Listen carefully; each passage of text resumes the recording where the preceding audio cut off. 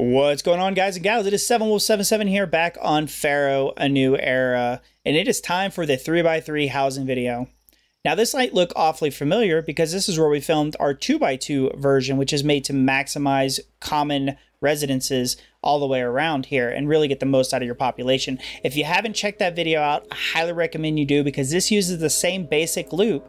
The link will be down below in the description. So what are we looking at here?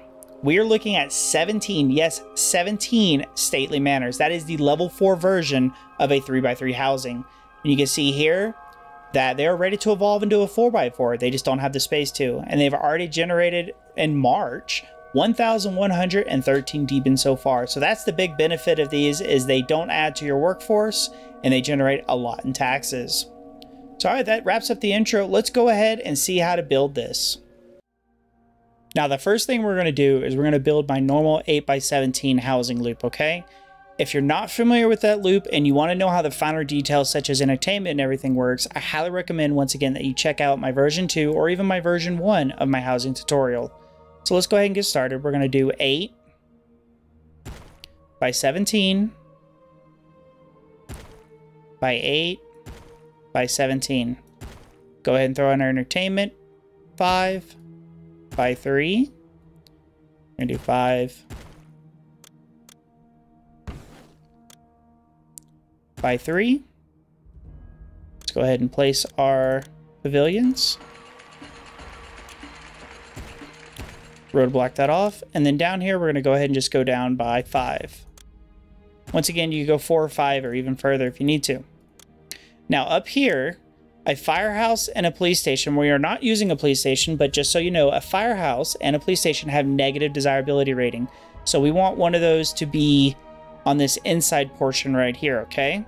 So we're going to put our firehouse right there. Now next to it, we can put our architect's post, followed by our dentist and our apothecary. And if you want to, you can even add a small statue to Bast right there. Or a shrine, whichever one you prefer. All right, let's go ahead and throw in our bazaars.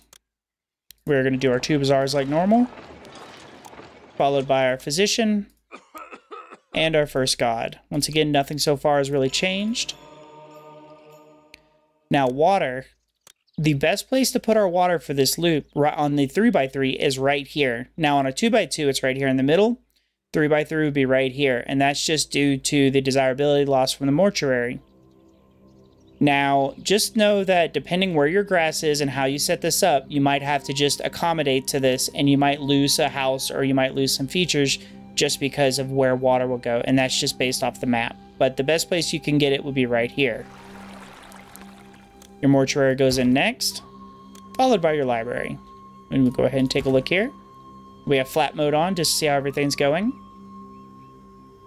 All right, moving on. Let's put in our second deity, once again, you want to make sure that these are not the same. We're going to put that right there. One tile overlap. Next, we are going to put in our courthouse. Our scribal school, which will go right next to there. Followed by our tax collector.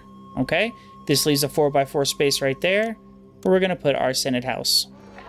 Senate houses have a high negative desirability rating, as it says in the tooltips when you learn about them. So just know that you're going to have to combat that with some large statues. All right, moving on. We're going to put in one layer of gardens or statues, your choice, right next to this one right here. Followed by a third god. And the reason we do that and we don't put this right next to it is because if not, they're going to walk on this pavilion and we need them on the loop. And you can't uh, roadblock a pavilion. All right. So we have three gods, we have all of our relevant resources here. Now it's time to put in our houses.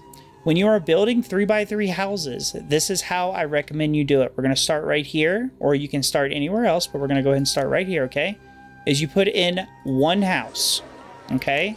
Put in a garden set to make it a three by three. so it looks like this. So we have our one house right here, followed by our gardens, okay? This is how big our house will be. This will also help with the initial desirability rating. Okay. Now, I recommend you also go ahead and throw in your 3x3 statues as well, just to help with that. You can alternate them like I did in the tutorial intro, or you can go ahead and just do them uh, do all of them the same way. I like the low ones because it helps with visibility. Now, once this house evolves up, you could uh, wait and then add a new one. Or you can also do this, which I recommend. Once again, houses will ex expand into a garden, but they will not expand into a hard surface like a statue or a building. So gardens, they can build over, okay? So we're going to go ahead and we're going to count one, two, three. We're going to put a statue right there. This will be a house, but we would wait for this one to evolve, okay? We're going to do the same thing, put a house there, and then do a 3 by 3 set of garden. So that will make the house expand out this way. This is very similar to how I place 2 by 2 housing, minus the statues, in all my Let's Play videos. So once these is evolved up, you would get rid of the statue, and then you would put your 3 by 3 right here again. You would follow the same procedure. Put that there, followed by that. Okay, so that's three houses now. And then you would do four and five. So that is five houses here on the outside layer. Now moving on to the inside, you can do both of these at the same time. I take that back, sorry. That's the wrong place for that. It would go over here. You can do both of these at the same time. One and two. Now right here, I recommend that you put statues. We're going to use medium statues. I like the birds personally. We're going to flip them so they look out like that. And then we're going to place a 2 by 2 set of gardens right there.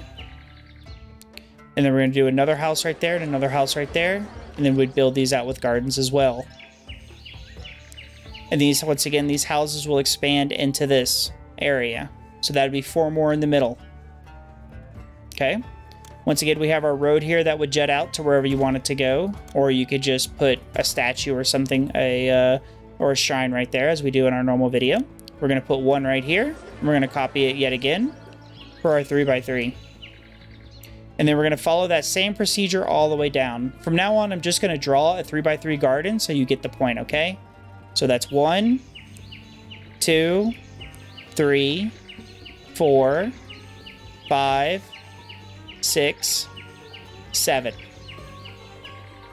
So that would be seven houses along here. So that'd be 7, 8, 9, 10, 11, 12, 13, 14, 15, 16, and 17. So that'd be 17 houses all the way through here.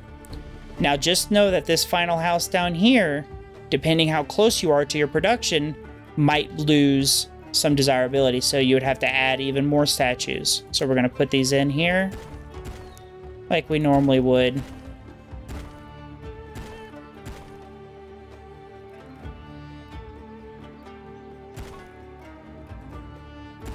And you can mix and match these statues however you like. So that right there will get all of your houses up, assuming you have all your relevant resources to evolve these to 3x3. So we have our three gods, we have all of our entertainment. So your entertainment up here should be as a Senate House gives 60, uh, 780, 90. So I, it should be roughly in the 90 to 95 area with the jugglers, the dancers, and the conservatory. So this will get you to a 4x4 if you so desired, as we showed. Now, I do want to draw one quick attention to that a good way to set up your storage yards with this is did you know you can go into your storage yard and say, get beer, and we're going to get half, and then say pottery, we're going to get half. So that will fill up half of the storage yard with beer and pottery, okay? And then you would do the same thing over here with papyrus, get half, and then you could do linen or jewelry, whichever one you wanted. We'll just do jewelry since it's right here. Get half. Now you would you could do one more with your linen, which we get half, and you know, and you could tell it to get another half of pottery or whatever you have be. And then you just have your two granaries over here with your food. And I recommend that you you designate them. Say this one would be all chickpeas and this one would be all fish or whatever you have on your map.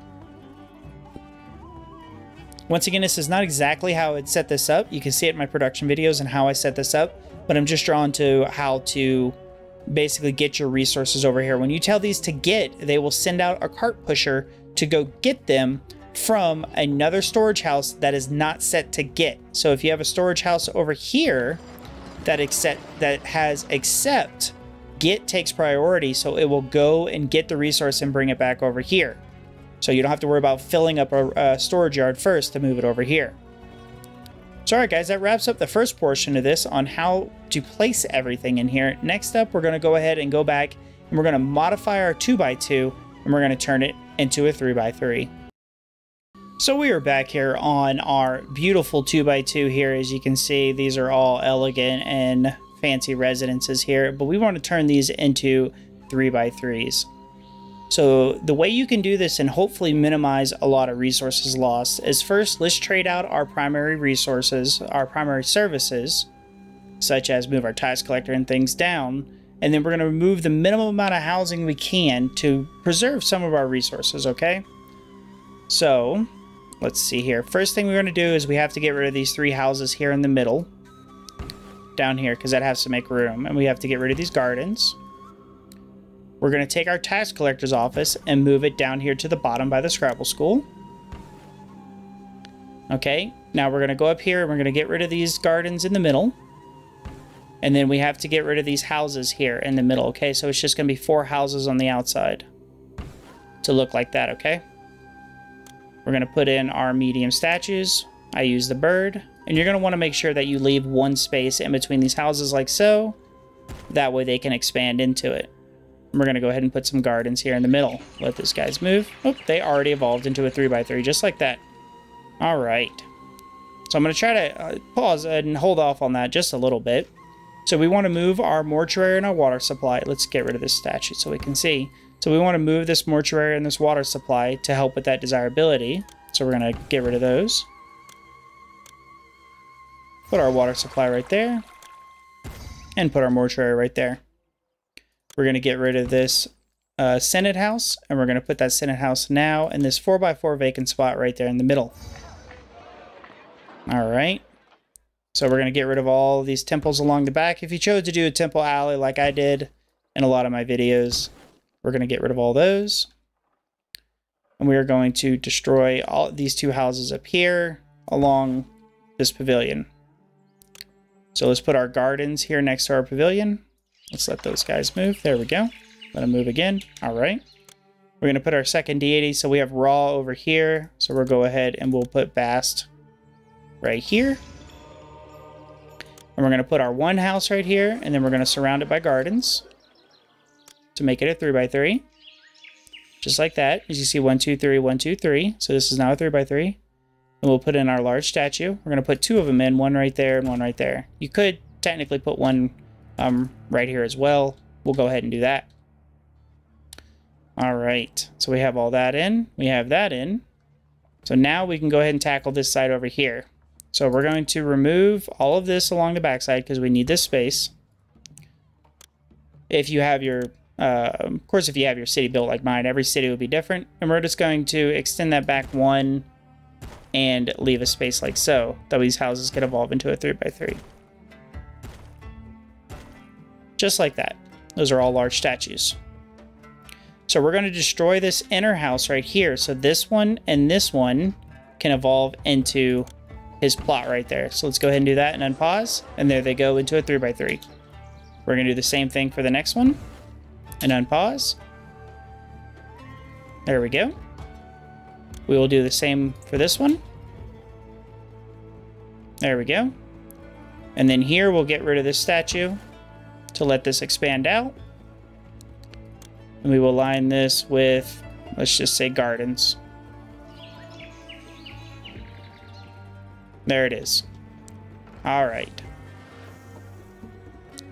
So these houses haven't evolved up yet because this one has a negative desirability, which we're going to put a statue back. Once again, the closer you put this and the closer you have a production, if you're doing if you're planning on a 3x3, I recommend having this probably at least 5, but preferably 7 blocks away. We're going to put our medium statue right there, which should not be an issue. There it is, two gods. So we're going to work on our third god now. We need to come up top, And we're going, so this housing, as you can see, did not evolve correctly. We have two singles here and two singles there. So that's going to throw this off a little bit. We're going to go ahead and get rid of that. Let's put in our third god. We'll put in Ptah right here since we don't have Ptah yet. No, we don't. So he's going to go right here on the corner, okay? Just like that. Now we're going to go up top, and we're going to put in our statues just like we did on the bottom. One, two, three, four, five, and once again, I like to put one just behind that temple right there, for six. Now, since these didn't evolve up correctly, we're going to have to change this up a bit. So we're going to get rid of this house here and this house here. Okay, so now we're going to get rid of this house. So that should fix that. Well, not really. All right, so if that happens, you just get rid of that. We're going to put our garden there. This is a good example on how to do this. We're going to put our 3x3 gardens. So this one here will expand this way, and this one here will expand this way. There's that one. We're just got to wait for people to move into that one. While that's happening, let's go ahead and get rid of that one right there. Now these two should expand into it. Like so. Awesome. I'm gonna, since I am doing this for testing purposes, I am gonna go ahead and just activate the food cheat. That way I don't run out of resources while I'm rebuilding all of this. All right, let's speed up. And you see this one house here is going to turn into a 2x2 and then a 3x3 as soon as it gets physician. Just waiting on him to walk past, basically.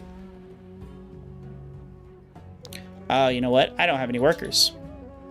So let's go ahead and fix that. We're going to do our administration and our hygiene, our religion, and our entertainment.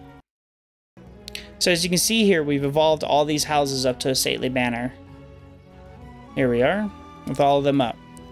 And this is our setup once again. We'll go ahead and look at it that way. And we'll look at it that way. Thanks for watching, everybody. If you enjoyed this video, please remember to like, comment, and subscribe. I do really appreciate it, and it very much helps this channel grow. Furthermore, on my channel, I have numerous other tutorials, videos, and a Pharaoh Let's Play series where I go through every single mission.